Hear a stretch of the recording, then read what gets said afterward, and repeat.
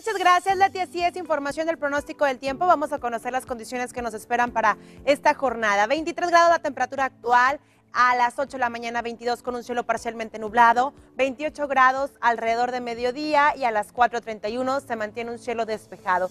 Ya por la noche marcando entre 25 y 28 grados centígrados se mantienen cielos despejados, a tomarlo en cuenta porque los próximos días vienen cambios importantes. Mañana hay posibilidad de precipitación, así que nos preparamos el día de hoy con el paraguas porque lo podríamos estar ocupando para las próximas horas del día de mañana. 17 como mínima, máxima de 26, jueves y viernes, cielos parcialmente nublados, mínimas entre 17 y 20, máximas que alcanzan de 24 a 29. Un sábado con cielo despejado, mínima de 21, máxima de 32. Domingo, lunes y martes, mínimas que oscilan de 15 a 23, máximas que van de 26 a 32 grados centígrados. A tomar en cuenta estas condiciones, bueno, y lo que nos espera para esta mañana es buenas noticias si padece alergia. No hay polen en los árboles, en el césped, en la maleza, lo que hace la comodidad para respirar muy buena en el transcurso de esta jornada.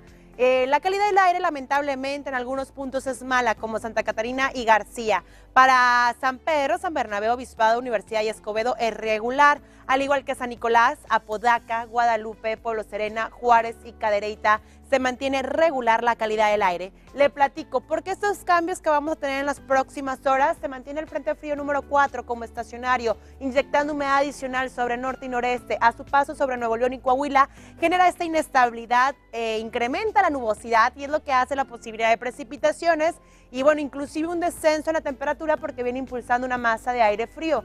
Un canal de baja presión sobre parte de la Sierra Madre Occidental inyecta también humedad adicional sobre parte de norte y noreste de la República. Sobre sur y sureste, un canal de baja presión con dos bajas presiones, un 80% de desarrollo ciclónico en el sur y sureste para que lo tomen en cuenta a la hora de planear su jornada. Estas son las condiciones de la República Mexicana. Quédese con nosotros, hay más información.